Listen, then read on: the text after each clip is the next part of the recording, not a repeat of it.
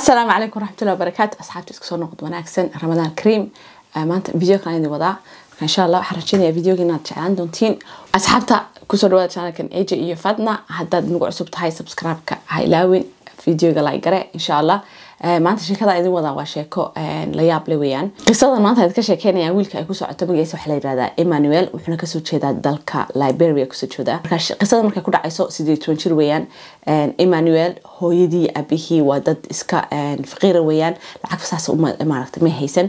Marka isagoo yar abihii baa dhintay. Marka emmanuel abihii markuu dhintay hooyadii waxay ay ku qasabtay wiilkii. Dee choicena ma laha. Inanka yaraa inuu iskuulka ka baxo oo hooyadii maarata uu shaqeeyo familiga u soo shaqeeyo.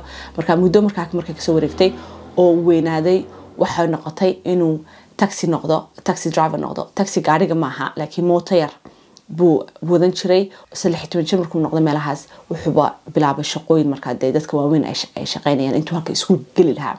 Marka sideed toban jir markuu ahaa waxaa dhacday isagoo mootadiisa wato dee shaqeysanayo oo uu niyajibsan yahay oo deen iskuulka tegi karin aabahii dhintay markaas wuxuu la deganaaba eedadii waayo hooyadii dee noloshii way ku adkaat wuu la wadi kari waayey wax ku filan faamigii ma soo gelin karo markaa isaga oo markaa hooyadii u shaqeynaya markaa sababta loo bedeli garamaya laakiin eedadii baa markii dambe lagu wareejiyey eedadii baa markaa ka mas'uul ahayd markaa uu sideed jir yahay eedadii baa haysa markaas oo wuxuu soo shaqeeya lakiin faamigiisa u diraa. Magaalada jooga markaa.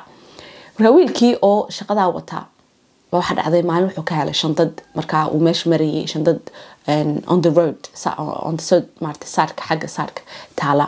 Shandadii uu soo qaaday uu furay. Waxaaba ku jira lacag isku jirta dollar iyo lacagta liberian maarata liberia lacagteeda. Oo marka laisuwada keeno ah konton kun oo dollar ah. Afartan kun oo pound wiilkan sideed toban jir ah ee faamiligiisa u shaqeeya dee shilinka yar u soo shaqeeya oo isku sideed toban jir ah oo taxi ah taxi driver ah. Laakiin haddana dee dadka mootada ku wada maaha gaari caadi maasandi sheegay gaari caadimada wado. Kontonka markuu helay adigu maxaad odhan maxaad samayn lahaa adigu? Marka wiilkii lacagtii intuu qaaday wuu furay markuu arkay horta inay dee lacag tahay isla guriga eedadii buu tagay eedadii buu lacagtii u dhiibay wuxuu ku yidhi eedo waxaan sameynaynaa lacagtan qofkii lahaa uu u imanayo ma taataabanayno waxaanu sugaynaa inuu maarata dee qofkii soo hadlo. Marka lacagtii may taaban. Isagii eedadiiba lacagtii shilinkamay qaadan meesha sideedii ay u heleen bay dhigeen. Markaa dadka kale uma sheegin laakiin way aamuseen. Lacagtii waxay leeyihiin ilaa aynu qofkii oo doondoonaya aynu maqlo ama aragno qofka lacagtiisa ma siinayno. Markaa way ogyihiinba in iyagu isticmaalinba. Marka lacagtii sidii meel maarata de kabo laga helo kaleba meel iskaga leexiyeenba.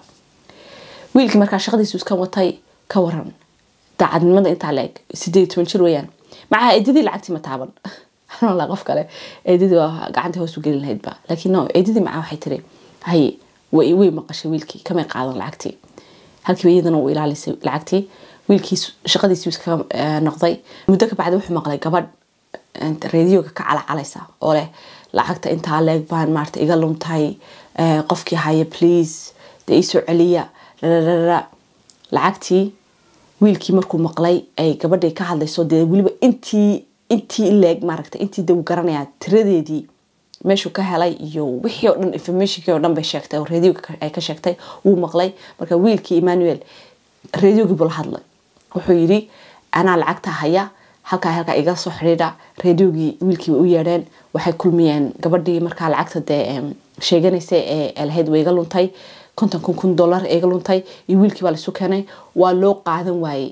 Shock baa ku dhacay. Marka especially markii la ogaaday xaaladda wiilka oo sideed toban jira oo faqiira oo shilimaad soo shaqaysanaya maalintii. Baa layidhi waxa de waa fahmi kartaan. Waxaa la sababta waa maxay oo lacagta aad adigu isticmaali kari weyday waa maxay sababta aad adigu lacagta u qaadan weyda aad u sheegtay aad u soo celisay?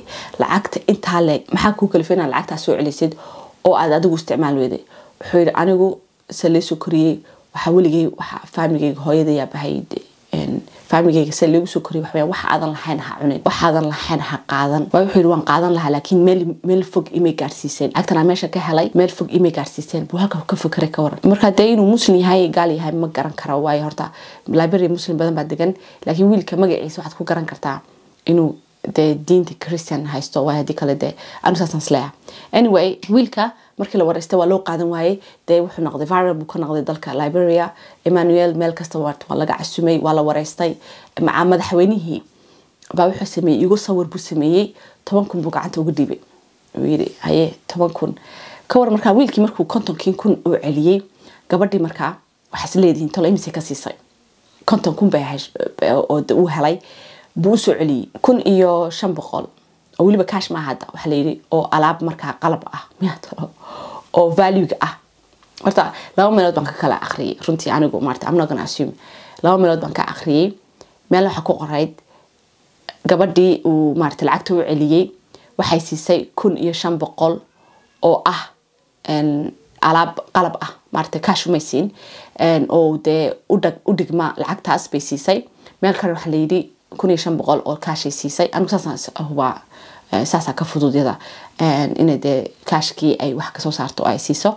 Laakiin waxaa ka badanba intuu madaxweynaha george madaxweynaha liberia intuu siiyey baa ka badanba. Waxaa ka sii daran wiilka waa waxyaabaha aan sheegay waa mucjisada waxaweyaan oo aad maaratay anigu aan dee igu kaliftay macaa inaan idinla wadaago sheekada waxaweyaan wiilkii markaa markuu dee laga soo daayay meelaha tvgii waxaa la maqlay iskuulla baa laba iskuul baa maqlay markaa sheekadiisii oo la yaabay oo yidhi waxaweyaan waa wiil waayo wuxuu ku fakarayay layidhi wuxuu jeclaa waxbarashada marka maadaama uu sideed toban jir yahay markaa sagaal toban jir yahay wuxuu yidhi aniga waxaa iga muhiimsan inaan wax barto oo kaleba maarata laakiin lacagtan yar haddaan qaadan lahaa macaa meel fogii ma gaarsiiseen.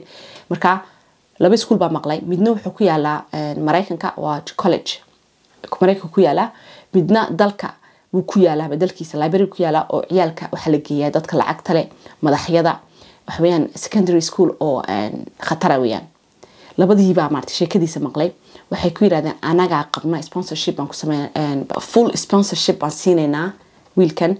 Laakiin maadaama uu primary schoolka ku joojiyey wiilkii ma haysto wuxuu maarata dee toos maraykanka ku tago oo college maarata uu ku galo. Waxay noqotay markaa in iskuulka markaa dalkiisa ku yaalla ay ku yidhaahdaan ciyaal kaara yar oo lix sano meelaha uu ka wen yahay baad la fadhiisanaysaa oo meeshaas aad degnaanaysaa waxaweyaan waa iskuol aad degnaanaysid waxna baranaysid. Halkiibaa free isagana iskuolkaas la geliyey tobankii thousandkii cashkun madaxweynahu siiyeen wuu haystaa. Ischool futurekiisi waxaa layidhi dib dambe oo aad motorcycle aad u koraysid ma jirto maadaama ay waxbarashadiis maarata isaga ay muhiim u tahay. Hadda ischool buu ku jiraa waxaa layidhi shan iyo jir markuu noqdo oo secondary schoolka uu dhameeyo oo iskuolkaa khatarta ah ee libraryga maarata ee ku yaalla secondary markuu ka baxo waxaa u diyaara post baa u diyaara maraykanka oo college ka gelaya uu haysto full scholarship.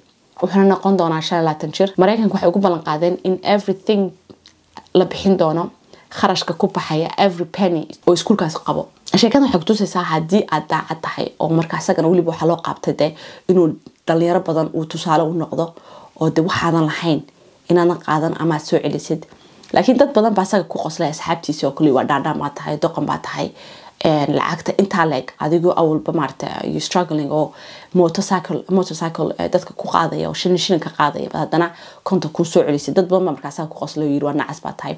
Laakiin dadkii shalata ku qoslay markuu lacagta soo celinayay maanta iyagu meeshooda taagan yihiin.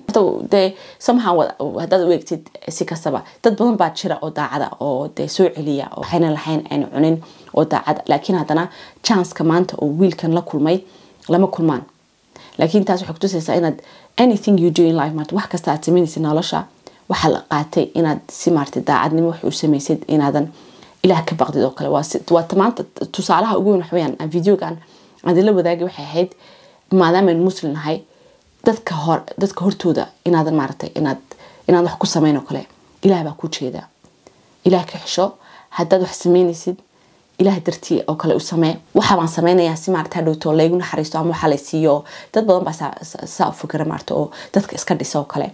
Laakiin wiilkani dadku biniaadamka waxay leeyihiin kamuu maaratay dee ma taabanba. Inuu dee ilaahay aaminsan yahay kala garamayo maadaama dee aan la sheegin. Laakiin waxay kutusaysaa tusaale weyn buu u noqday wiilkani. Maanta kontonkii kun uu soo celiyey wax ka fara badan buu helay. Waayo futurekiisa for whole for the rest of maarata his life waa guarantee hadda the future weyn buu haystaa future fiican buu haystaa marka asxaabta videogan maanta aan la wadaagay anaa jeclaystay maarta inaan idiin soo gudbiyo ta kale su'aasha aan weydiinayay waxaan doonayay tusaale qura maaha videoga waxaan doonayay what would you do maxaa samayn lahayd adigu konton kun haddaad heshid oo kaasha adigiyo de faqiir waxaan ku yidhi saa meel uga laalaada ma soo celin lahayd mise waad cuni lahayd jawaabtu xaggiina weyaan marka asxaabta waxaan leeyahay ramadaan kariim insha allah ilaa kheyr maarta noogu dhameeyo video kale isku arki doonaa asalaamu calaykum